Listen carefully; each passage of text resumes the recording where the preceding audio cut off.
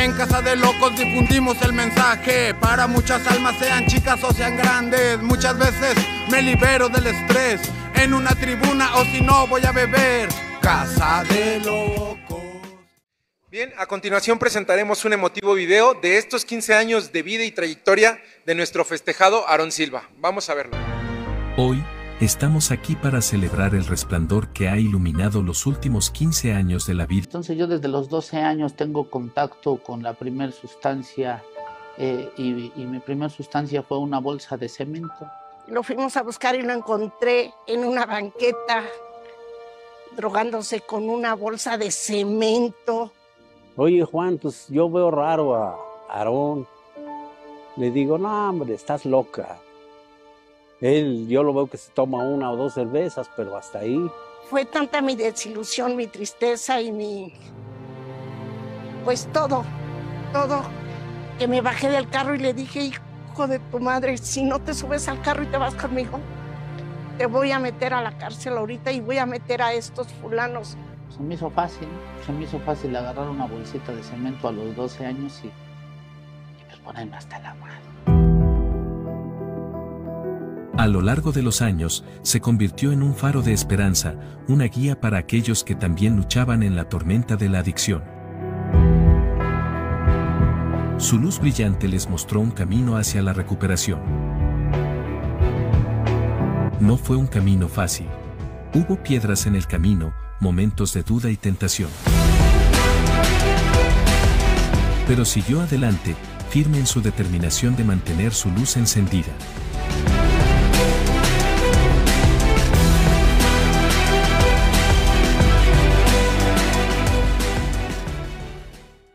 Vamos a ir a buscar a- al amigo Nachito y al amigo Che. Son unos chavos que también estuvieron conmigo en el consumo. ¿Te acuerdas, Aaron, que antes de que se construyera Renace, antes de que construyeras esa casa, cómo nos metíamos a fumar ahí? Bien desvelados, el, el terreno era un baldío. Era un baldío. Y ahí nosotros nos quedábamos ya bien amanecidos, bien, bien crudos, ya bien alterados de la piedra y seguíamos ahí fumando. Queremos hablar con usted. Oye. ¿Qué pasa, mi Aarón? ¿Quién soy? A huevo, ¿sí te acuerdas de mí? Ah, no sé si mi camarada. ¿Dónde vas, mi Che? Ay, güey. Ya será el agua bendita. ¿A dónde vas por tu agua bendita, güey? Aquí en otros no, pero. ¿Por activo? Ahí va. ¿Vas por el activo? Sí, güey, es lo que me gusta esa mamá. Pa, pinche Aarón, siempre me lo estoy cotorrado contigo y. Aquí en este cabrón, sí, pues nos juntábamos allí con el Juanillo, que en paz descanse, con Pati también, pero. Su madre que ven aquí al lado mío fue mi chavo. Siempre que me veía, me decía el hijo de su puta madre, vamos a chupar, vamos a monear, vamos a fumar, el hijo de su pinche madre. Nos quedábamos tirados en las calles, todo hasta la madre, borrachos, marihuanos. Ahora que siente que nos escucha. Ahora yo Ahora sí que como decimos en doble A, siéntese y escuche, hijo de su pinche madre. Hoy le vamos a decir la clase de culero y ojete de poca madre que ¿Qué fue. usted fue? Era una persona culeramente asquerosa. Éramos rateros, hijo. Calle 12, güey. No, por lo que es. Nada más de verlo nos daba tristeza, de verlo cómo andaba todo pondeado, todo dado a la verga. Yo sí me acuerdo cuando andabas descalzo, ¿sí o no, padrino? Quedábamos bien tirados en la calle, Uno tras en las otro. pinches banquetas, abrazados. Cogidos. Oye, dice que, güey, ah, ¿y a ti no te cogieron? Dice, no, a mí nada más me cabecearon. Nada más sentimos el rigor. No, pues me llegó a hacer un paro el Che, porque el pinche Che era, estaba macizo, ¿te acuerdas? Estaba fuerte, Che. Estaba bien macizo. pues. Éramos, éramos chavos pesados a nosotros antes. Nada más que tan, tanto, tanto vicio nos ha acabado. Ah, pues me las cotorré con él y. El Chedito también. Ah, Era, eran hijos de la chingada. Por no decirle que eran hijos de su pinche madre. no, Dilo. Varios compitas a través de las consecuencias de la droga se han ahorcado, el Karim, el Karim, este, este Tony. Llegaba mucha banda de diferentes lugares. Aquí era el punto de reunión. Les digo que aquí me quedaba, ya mis últimos fondeos fueron aquí, ya mi pinche. Aquí había una jardinera y aquí me quedaba. Pinita me luego me sacaba un taco. Allá había un carro. Talones. Ahí nos quedábamos, ¿no? Eh, aquí estaba el carro, el carro de mi compadre. Todos los vecinos nos, nos aventaban la patrulla y no nos querían, ¿verdad? Éramos un chingo. Mira, somos los únicos que quedamos entre toda la banda. Todo el escuadrón Pero- somos los únicos que sobramos. Unos, unos están encanados, otros ya se fueron. Descansando. Aarón, ahí está el mosco. ¿Qué pasó, pinche mosco? ¿Qué pasó, mi mosco? ¿Te acuerdas de mí? ¿Quién soy, güey? Pasó mosquito. Y estábamos hablando ahorita de ti. Nos estábamos acordando de ti, mi mosco. Puro escuadrón ahorita. No se fueron a dormir ranas, ¿no? Se murió. También. Acaba de morir el rana. Ya tiene mucho. Y el mosquito me quitó a un güey que me estaba madriendo. Ah, sí, peleé con dos, tres mil, pero cuando estaba pedo, sí estaba. Sí, sí era aquel. Llevaba el chemo, ¿te acuerdas? Llevaba el chemo. Pero ya no. El vale y el nazi, ¿no te acuerdas? El vale, Ajá, el vale, el nazi. Tiene un biche celular, no sé ni cómo te maneja. Me late mucho el pinche Antonio Aguilar.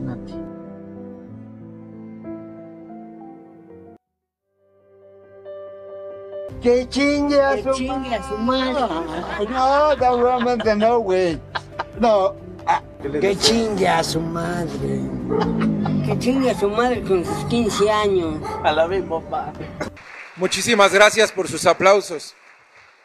Bien, ahora eh, me voy a permitir pues pasar al padrino Aarón, pero antes de todo, como presentador y al frente de todos mis compañeros de Haciendo Nueva Vida, con todo respeto, padrino Aarón, eh, todos me comentaban y querían hacerle llegar estas palabras.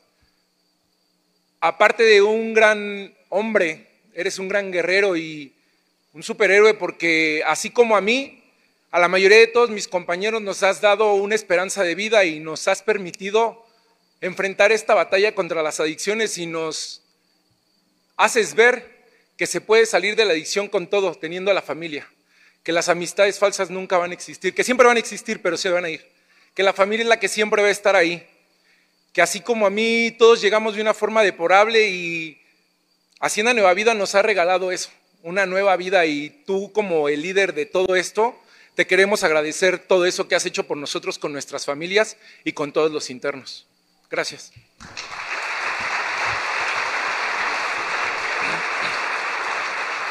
Ahora me voy a permitir darte el paso, por favor, para que nos compartas.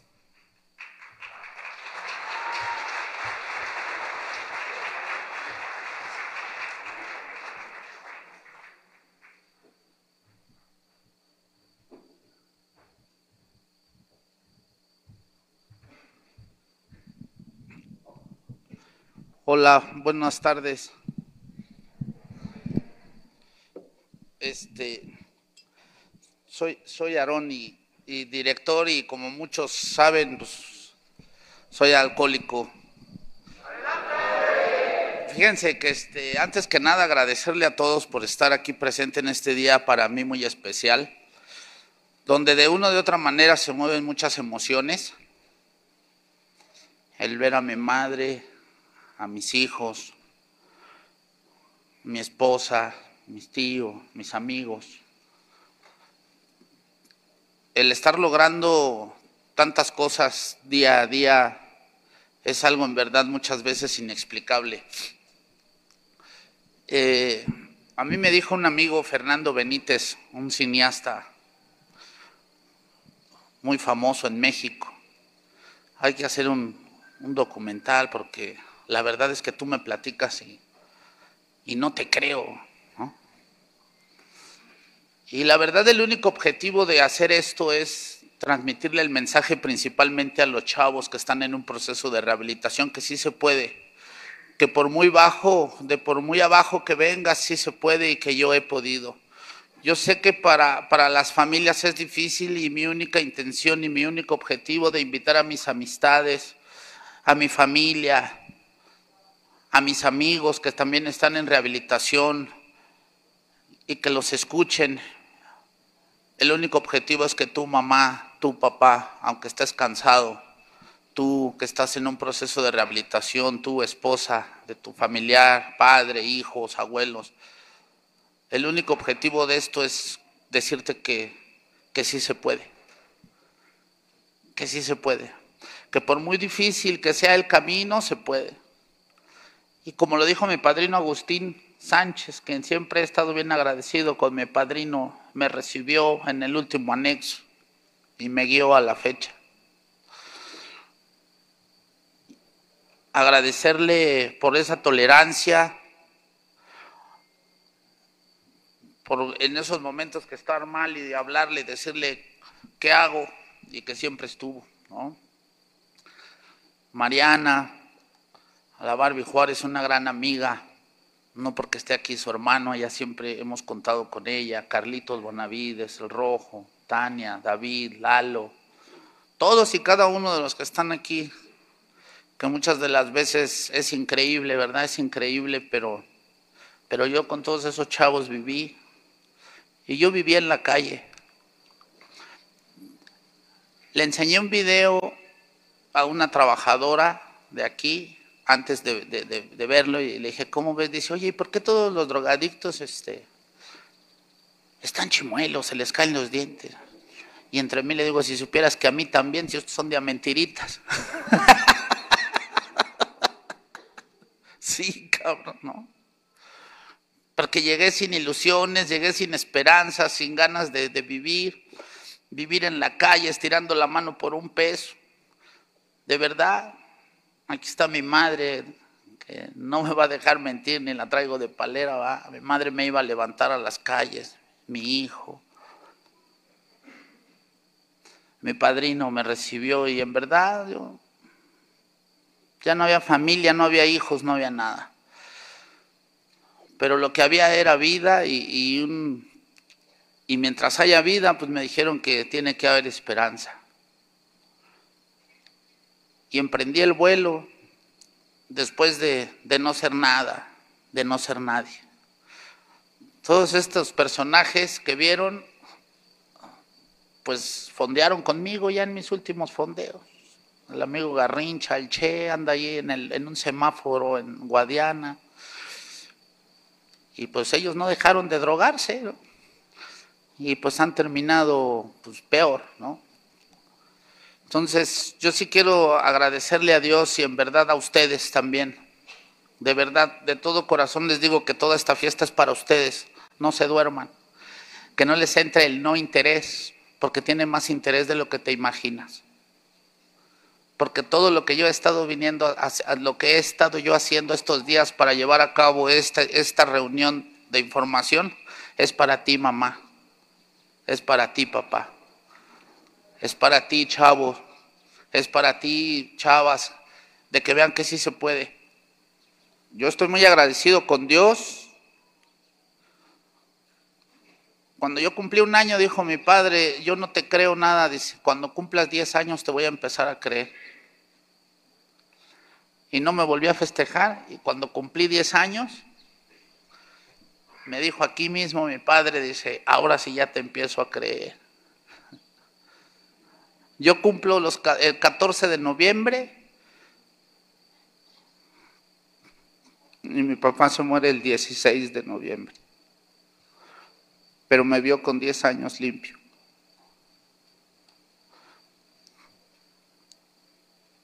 Y todo lo que he recorrido, yo sé que él está muy orgulloso. Porque lo extraño un chingo.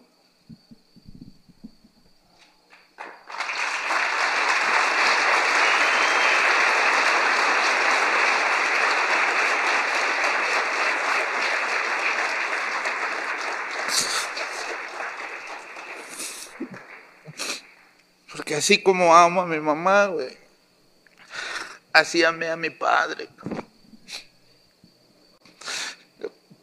Y todo lo que yo hacía, era el primero que le decía, papá, si pude. porque mi papá no creía, porque yo vivía en la calle. No tengo por qué mentirles, yo vivía en la calle, andaba descalzo. Y yo veía el dolor tan grande que le hacía pasar a mi papá, a mi madre.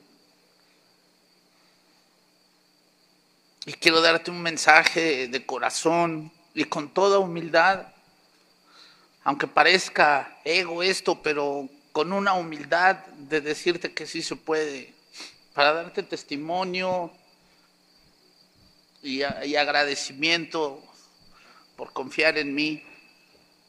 Yo les he dicho a todos esos padres que están aquí, que en vez de que ustedes me den las gracias, yo les doy a ustedes gracias. Gracias por confiar en mí y dejar a cada uno de sus seres queridos sin conocerme y decir, ayúdame. Como mi mamá en algún momento me dejó en las manos de mi padrino Agustín y que decía que era un lugar horrible. Yo estoy muy agradecido con ese lugar. Ya para mí no había salvación más que un fuera de serie, ¿no? Golpes lo que fuera, pero me salvaron la vida. Entró en mí el amor de mi padre, de mi madre, se terminó el resentimiento, chavos, y llegó la gratitud. Gracias por hoy en día prestarme vida y poder compartirles a ustedes 15 años. Antes resentido, hoy agradecido. Resentido porque me mandó una niña enferma, decía yo. Pero hoy agradecido con la vida por haberme mandado una niña especial que es mi Aline. Vea, mi amor, salúdalos. ¿Eh? salúdalos. Allá, voltea allá.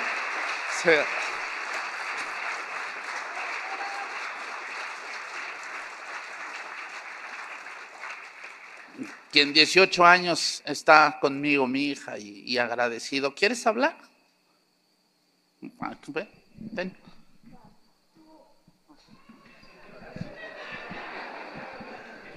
Tú, tú.